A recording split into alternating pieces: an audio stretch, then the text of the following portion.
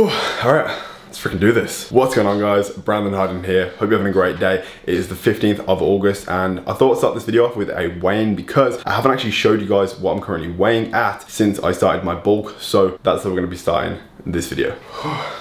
Um, okay then. Right then guys, so as you can see, we are currently 230.8 pound, which is 104.7 kilo. The heaviest I've ever been is 232 pound. Now, the last time I weighed that on my last off season, I was literally fat and I'm pretty happy with how I'm looking this morning. I went downstairs as soon as I woke up and took some physique update pictures. I went through some mandatory poses. The last time I did this was actually on prep. It was kind of like hard for me mentally to take these pictures and to be able to like post them online. I took them for Instagram, but I thought it's my responsibility and it's only fair that I show you guys what I'm looking like on my bulk versus on my cut. And considering the last time I was this heavy, I looked so fat, it's unreal. So I'm pretty happy with how I'm looking right now at this weight. Now the main goal in terms of my nutrition is to just keep on doing what I've been doing, eating mindfully, making sure that I'm receiving a sufficient amount of nutrients while eating a good amount of carbs, not too much fat and a medium amount of protein because with my body looking the way it is, this is how I've stabilized and I would be happy to maintain this for the next 10 or 11 months off my off season because I do want to prep. Again, the show I have in mind, I would have to start prep around May or June. So I have a good amount of time to bulk up. So I don't want to do it too crazy. I don't want to dirty bulk and gain an unnecessary amount of fat because I don't need to because I've got enough time to pack on muscle. So there's no reason to rush. I may as well just enjoy myself and do it properly. We are starting day off with the rest of last night's Monster. I have no idea why I drink these on the night time. I just think the caffeine does not affect me at all anymore. One thing I love about being home is waking up to these. This is my first ever trophy that I won at the Body Power Show 2017. This is my second place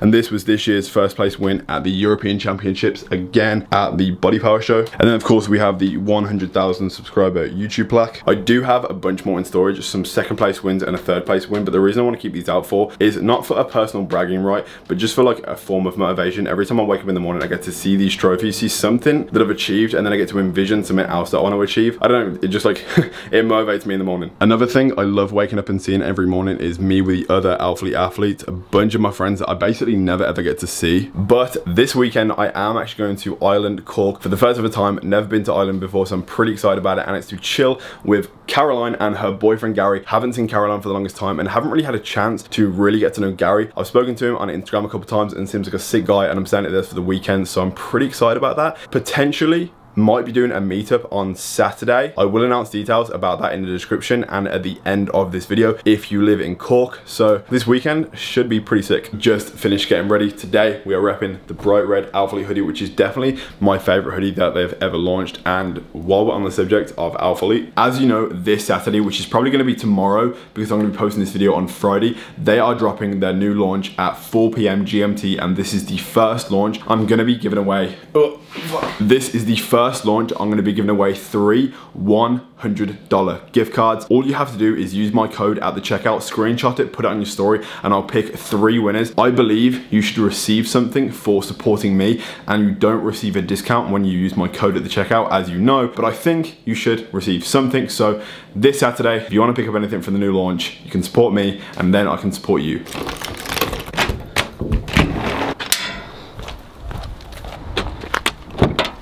Now in terms of the plan for today, I have a dentist appointment in 20 minutes at 11 o'clock. I'm just about to drive there right now. And it's to get my teeth cleaned or the glue off the back of my bottom row of teeth completely off because I still have a permanent brace on the top row of my teeth, but the one on the bottom actually fell off a couple of years ago. And I haven't actually been able to clean behind the glue for the past two years. So I'm getting it cleaned off professionally today so I can like not be at risk of gum disease. And it's actually crazy to know, but when I was younger in school, I actually get bullied for my teeth because they were so bad. I had the worst teeth in the world world and I actually get comments now asking if I have veneers because I, my teeth are so straight and it's because I had braces. Originally, they were that bad, I got bullied for it.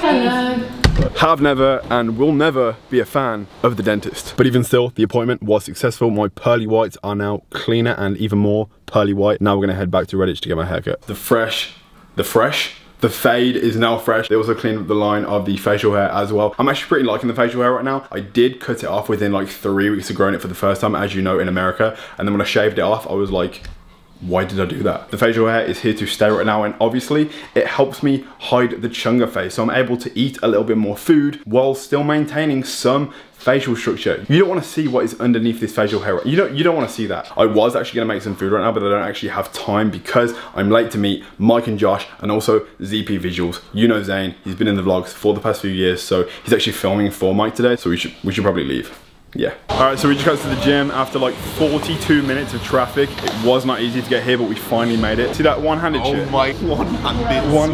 We got Mike Diamond. We got Josh Bridgman. Apparently we're meant to be hitting a chest workout today, but actually trained half a chest workout two days ago because it was like a failed chest workout. Demolished my chest yesterday, had the best workout. Woke up this morning with DOMs. My chest honestly hurts. And these guys come to me, I'm like, what are we training? Chest. So we're going again, three days in a row. Your face is looking so lean. I miss it, I really the do. Gauntness. I really do. Uh, we're gonna warm up with some isolations, get some blood into the area. We'll load into an incline press. Other than that stuff that doesn't really matter, how are you feeling in, in terms of prep? Uh, I'm like four weeks out, competed twice. Feel like I'm four weeks out and competed twice. We're taking a pre-workout today that I haven't actually tried. And considering I don't have a supplement sponsor right now, I can say whatever I want. Black magic. This is what we're using today. Gotta do it, man. Let's see what this is gonna do to us today. Never tried it, but I've been told good things. Now we are all changed and ready for the workout. As Josh said, we're gonna be pre-exhausting our chest on the pec deck, which is something that I never do. I only ever pre-exhaust my legs. So after three chest days in a row and training chest in a different manner, there is gonna be no chest left.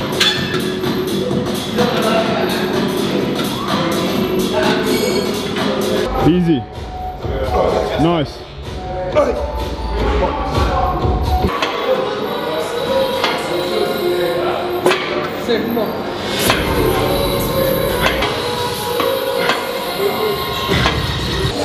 come on. Nice.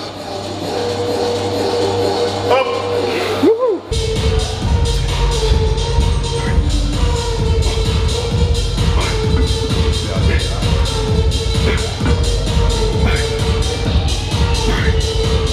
Come on. Come on, right there.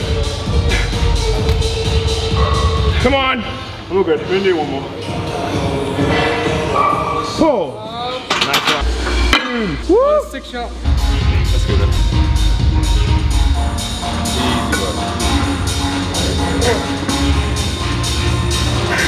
Come on. Up. Good. Come on. Strong. Up. Good one. Let's go. One more. Up. Good. Drive. Drive. Good.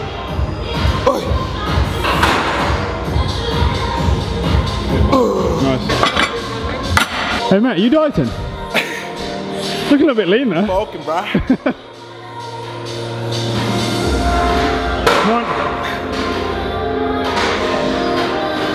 Look at that. Ah. I kind of felt a little bit like a chunga, but after seeing Josh, just full blown fat. You know what I mean? What am I doing? Hardbody shredding 2020 is starting in 2019.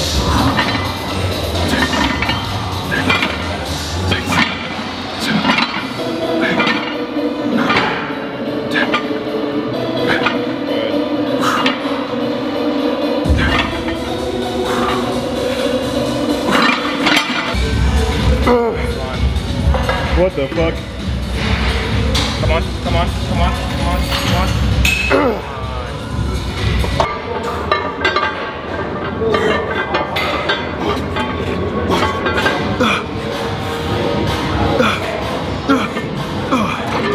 How are you feeling like in yourself? Like what's changed from when you began prep till now? At the end of the day, I'm always asking like, okay, can I do that again tomorrow?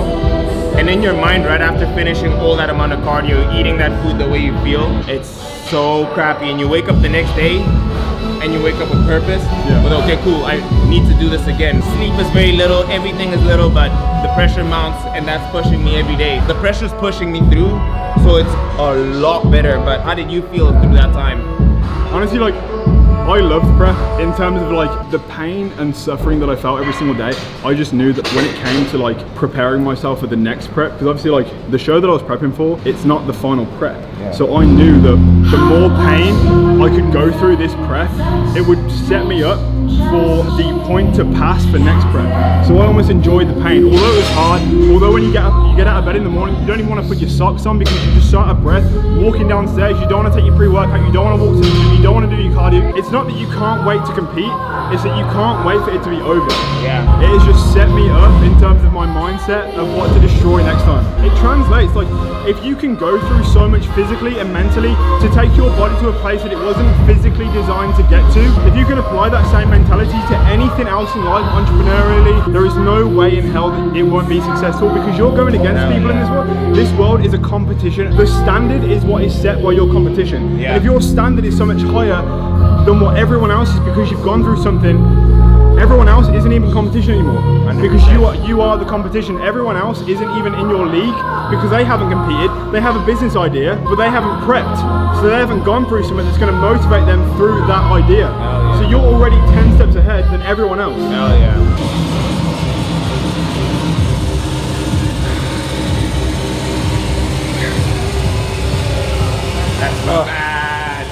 Bad. Man, uh, we have to pretend that we're friends and say goodbye on YouTube. Good to see you, man. Yeah, good to see you. Good to see you. Bye. Yeah. See you later. Look at bag. Yo, what's up?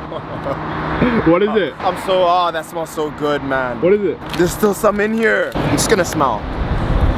All right, so the food came out. We got a chicken tasker, which is essentially like a chicken pita bread, but it has like cheese on the top. We got some chicken strips and some chicken wings. How you feeling, man? How's the food? With every bite, I feel like my soul's coming back You've been fasting till this point, right? till this point.